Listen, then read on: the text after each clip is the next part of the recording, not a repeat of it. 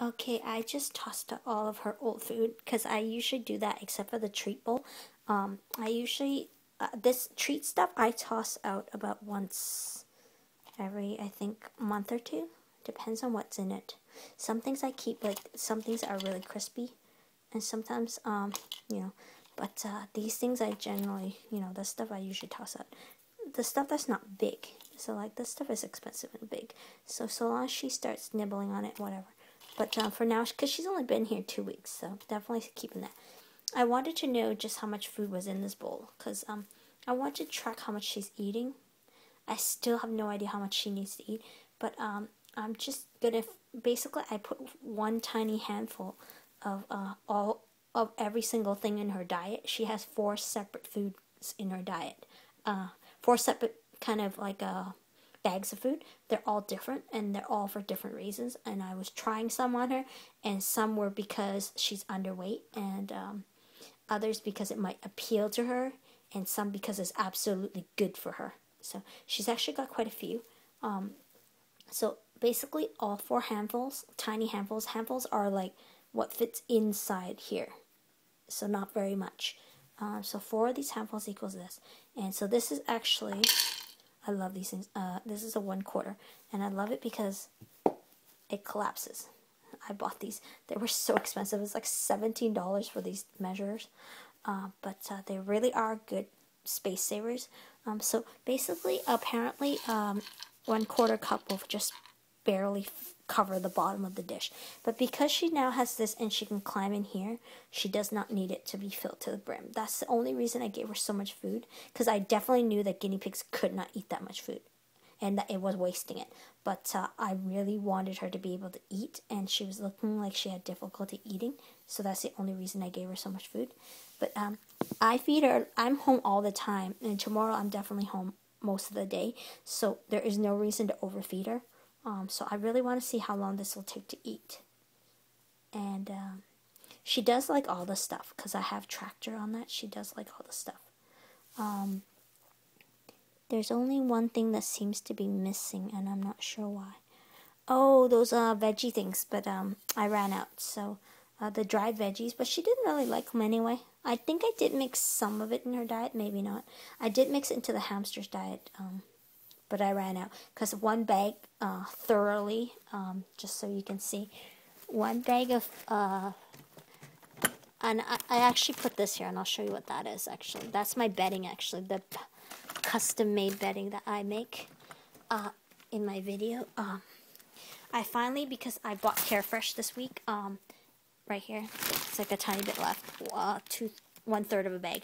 Uh, I was able to wash every last piece of bedding that I own so this is a Toys R Us bag, the largest one you can get.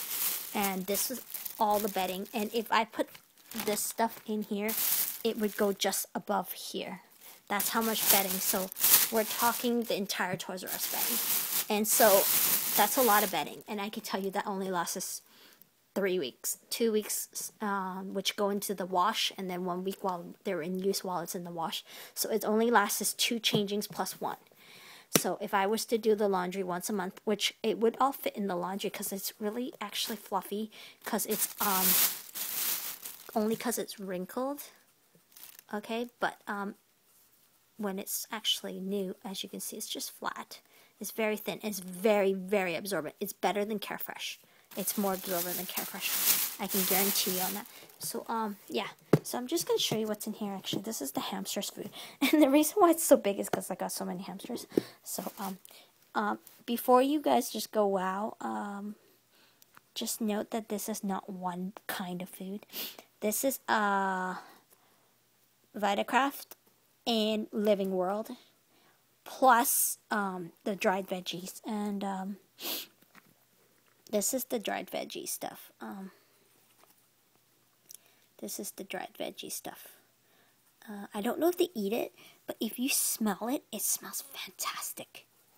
Like if you ever go and buy it, uh, it's by All Living Things. Uh, it's called veg, a dried veggie medley or something. Uh, if you went and got it, you would just if you just bought it at PetSmart and you didn't want to like keep it, you could just buy it or open it and just smell. It smells fantastic. I don't know if the hamsters actually eat it. I know the guinea pig actually does eat it. but um, I bought two different kinds for a reason. Uh, because because a breeder told me to. Um, but the Vitakraft is because it has no sunflower seeds. The one that I buy has no sunflower seeds, and there's a reason for that.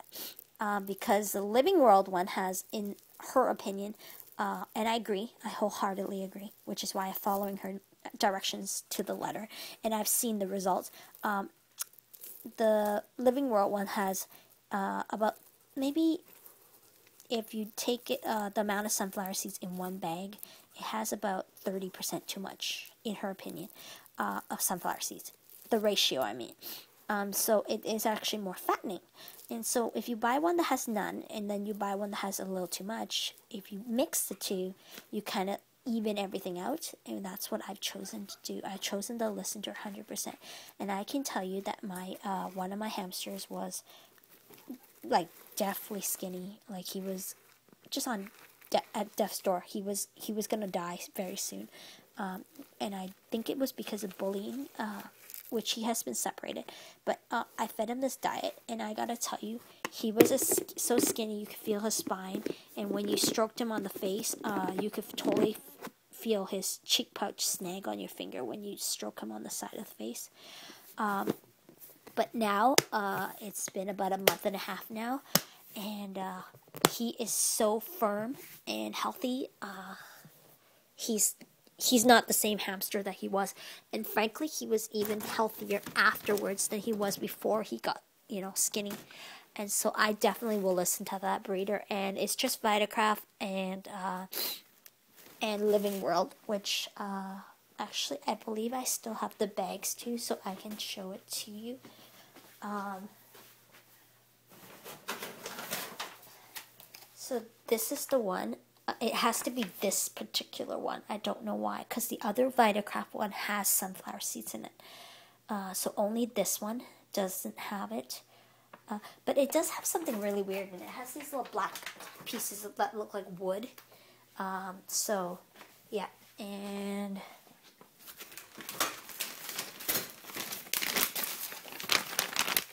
and uh, this one, the Living World one, it's 2.27 kg.